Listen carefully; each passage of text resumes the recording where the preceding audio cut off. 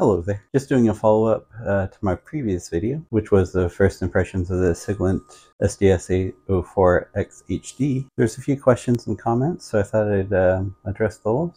One of them was the noise. What I did was I downloaded a decibel meter application and just laid it in front. And uh, I took readings off of this oscilloscope, my Keysight, and also my bench power supply to see on sort of what range of uh, equipment was. So the Siglent measured in at 44 decibels. The Keysight measured in at 49 decibels, and the um, Korad bench power supply measured in at 46 decibels. So out of everything on my bench, that makes noise, with the exception of my Ascend core, but I'm, I'm not really counting that. This is the quietest, so it is what it is. They all make noise. They're all kind of a drony noise, and it is what it is.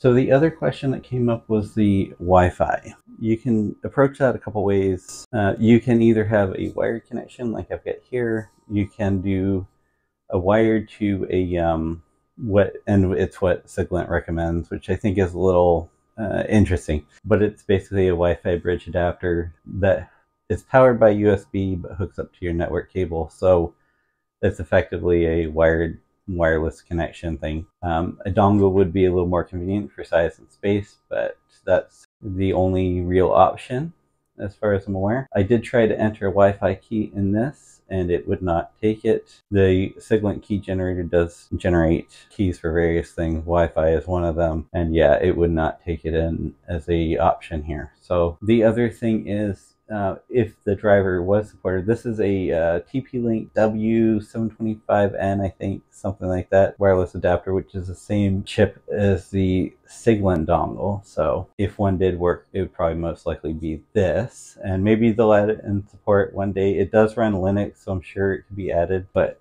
as you can see here, and from my experience, if the driver was loaded, a light would come on on this adapter at some point, indicate that something was going on, that the driver was loaded. Without any driver loaded, there will be no light on this dongle. So unfortunately, uh, Wi-Fi dongle is not an option for the moment, and I don't know if it will be. I will put in a link in the description to the TP-Link USB wireless bridge thing that you can use if you want to. I am assured that works. So the other thing that's kind of funny is this thing is really a bear to get out. I ended up using pliers, I think, to remove it last time I installed it. I did try TP-Link's W825N adapter as well, and that also did not work. I wasn't surprised though. I thought if anything worked that this would probably be the most significant chance of working. So that covers those two questions. One other one was about transparency of the waveforms. And I'm not quite sure what was meant by that, and maybe I misunderstood the question. I, am not 100% sure. I will try to do my best in explaining what you can do with waveforms in this. So right now, I've got two channels on the scope on. Only one is showing. I've got the channel one hidden right now. You can select either visible or hidden here. And then that'll bring the trace up showing. And this is actually the trace it's triggering on and the other is the signal from the wave generator. So uh, you can adjust the intensity, but it doesn't matter. See, if I bring that waveform, it's still going to block off uh, the waveform that's behind it. So there is no transparency in the waveform itself. The only option you can either do is, you know, put one in front of the other or move it. That's also an option if you want to move it around. But other than that, the only other option you have is to just hide the waveform itself. And that's that. Uh, so you can use your touch gestures to uh, change the vertical and horizontal resolution as well.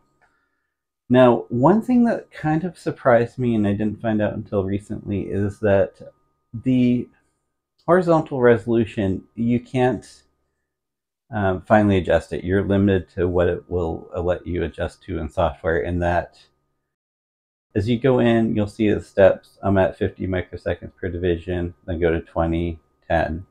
But I can't, for example, go here to the time base and I can't um, select that. I can't change it to say 15 microseconds, for example. It will not let me. And see, it went to 20. It goes to the next available thing. So if I wanted to do, say, I think like 180, for example, 80 microseconds, it'll give me 200. So there is no fine um, horizontal adjustment, which I find kind of odd. It's interesting. I'm not sure if it's a deal breaker for anybody, but it's um, different. It, it, it's different than in the Keysight. I can come over here and I can adjust uh, fine measurements. So I can go, so what am I going to? Steps 180. I need my glasses.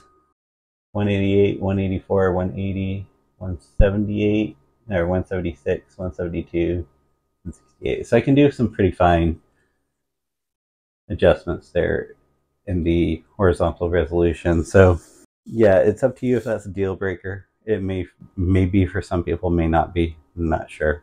Okay, so that's the other oddity out of the way, and I don't think I really had any more questions uh, as far as I'm aware. If you have any and I can answer them, I'm glad to, so feel free to ask any questions. I, I can't exactly answer everything, but I, I can try my best. I'm going to get rid of uh, channel 2 here. Just remove that off the generator. I just need two waveforms for an example of uh, that transparency thing. Um, I'm told that you can do some sort of transparency waveform on the Rigol, but I don't I don't know. I haven't seen that, so I'm not sure. Uh, the next thing I want to do actually is I'm going to bring channel 1 back, be visible, reposition it, and then I'm going to go to a uh, a demo on the scope here. Uh, what I want to do is repetitive pulse with rain.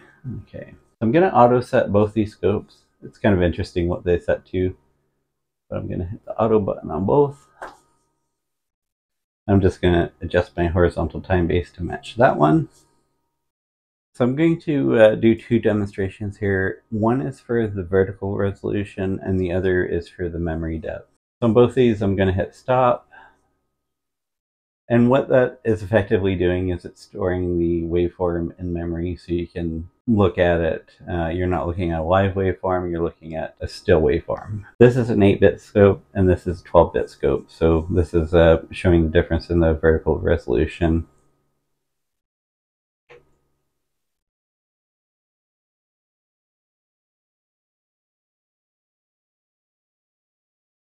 I'm just going to make sure the vertical resolution and time base match. So we're looking at the same thing.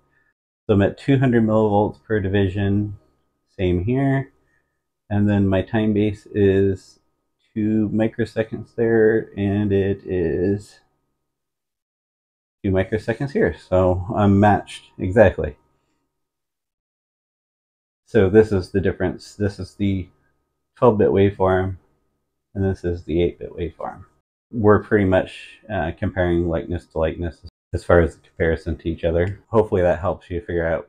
To some people, 12-bit might be more important. Um, to me, it's more negligible for the stuff that I, I mess around with. I'm not saying it's it's nice to have. It's just that uh, the memory depth on here is way more worthwhile to me than the 12-bit resolution, if that makes sense. And that's just going to vary. It depends what you do with the scope, what you plan to use it for. It's not bad. Alright, so going to go back to auto scale on that. Auto on that. So the next thing I'm going to demonstrate is the memory. The key Keysight here has 1 megpoints memory. The Siglent uh, Unlocked has 100 megpoints memory. They both are capable of 2 gigasamples a second. And for this demonstration on both of them, I'm going to zoom out a bit. Let's say 50 milliseconds, I believe. I'm just trying to get like for like on the settings here, so 50 milliseconds, okay. On both of them, I'm going to go ahead and hit stop again. And then this is where I'm really just impressed because when I capture some signals, I'm looking sort of over a very long length of time sometimes just to sort of get an idea of what's going on. But to be zoomed far out, for example, so my, my field of view on the signal is wider. If I can zoom out this far, hit stop on both, um, then zoom in, and then we'll see the difference here. I'll do the Keysight the first one. But you can see what the signal looks like, and you know what it looked like live uh, versus here. So you can see where the individual points are taken on that. And then on the Siglent, we'll zoom in and when you look here, it looks pretty much like a live signal. So to be able to zoom in this far and you know you don't have all these obvious different points like here, just gives you an idea of the memory depth difference between the two. I mean, granted, this is a bit significant. This is like a hundred times more memory depth than that, but it will definitely give you an idea on what the difference in the memory depth is.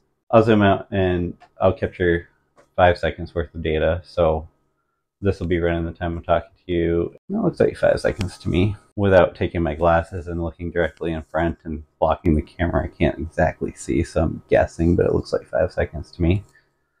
So that's five seconds of data, and I'll hit stop on there. Five seconds is a long time when you're talking about electronic signals, so yeah, you can definitely see that it's not as clear but five seconds is that that's a very long time, so that's not bad for for what it is.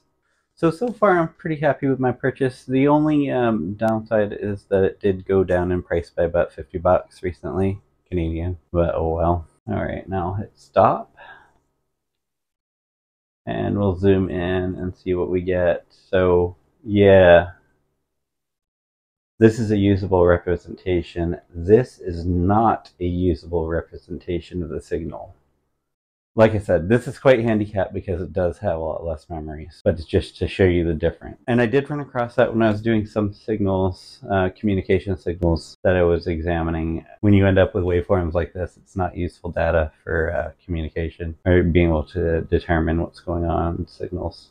So yeah, it's interesting. Uh, and hopefully that gives you a good example of memory depth. Don't get me wrong, the Keysight scope, I did not pay for this. I won this in the contest. I'm glad to have this. It also has a function generator in it, uh, which is very useful because I play around with audio stuff too. I, I trust the measurements on this a lot. It, it's a good quality scope, but this one does contain a lot more features. I wouldn't be able to go out and buy this scope um, because it's like you know, if you bought this new, uh, I know they don't sell it anymore, but if you bought this new, it would be like three times the price of this scope here. So yeah, like I said, it's useful. I like it.